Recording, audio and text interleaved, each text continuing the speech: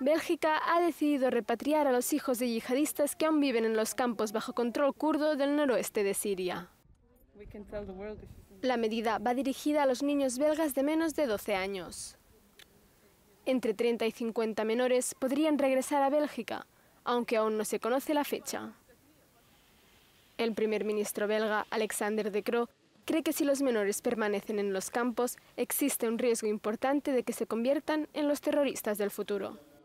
La eurodiputada Saskia Brickmont ha estado trabajando para su regreso durante años. La decisión de repatriar a los niños es muy importante y muy urgente por una cuestión humanitaria. Están creciendo en un lugar sin agua potable, sin la alimentación adecuada, con todas las consecuencias psíquicas y psicológicas, pero también físicas, que son enormes para los niños y les ponen en riesgo de tener enfermedades crónicas. Y la segunda razón es la seguridad.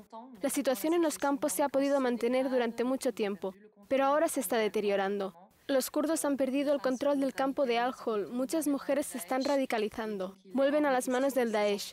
Entonces es cuestión de tiempo que estos niños europeos y sus madres caigan en manos del Estado Islámico.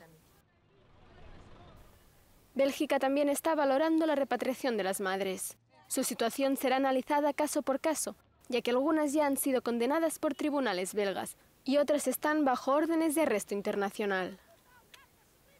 Bélgica es el lugar de origen de un gran número de combatientes extranjeros. Más de 400 se sumaron a las filas de los yihadistas.